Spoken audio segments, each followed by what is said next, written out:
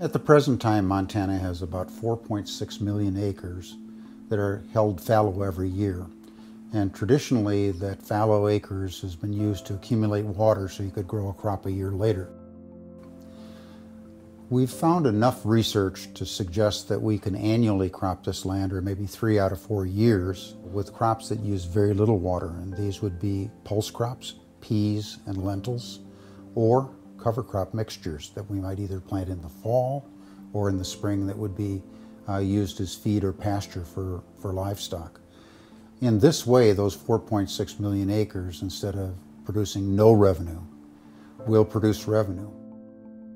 Part of our research experiment or project is to adapt this pea and cover crop system to our areas of the state that get, say, 12 to 14, maybe 15 inches of rainfall. And this means finding the right varieties, the right cropping systems, actually using very innovative uh, precision agriculture uh, for uh, fertility, for weed management, for pest management.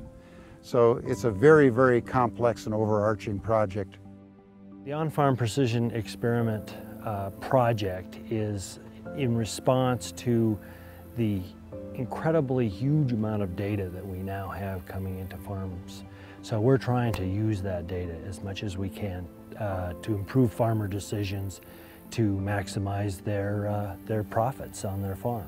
The idea here is that precision agriculture is one that focuses on little pieces of the field and by collecting information as we move through the field with our machinery, we can basically determine what the best approach is to farm a piece of that field. Within those different areas, we'll put different levels of nitrogen fertilizer to see what the response is.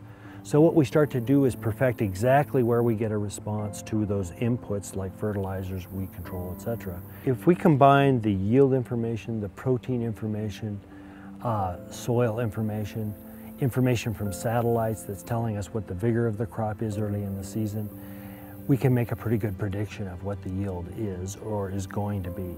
We want to automate this system to the degree that makes it really simple for farmers. Basically, all they have to do is agree to do it or flip a switch and it will happen.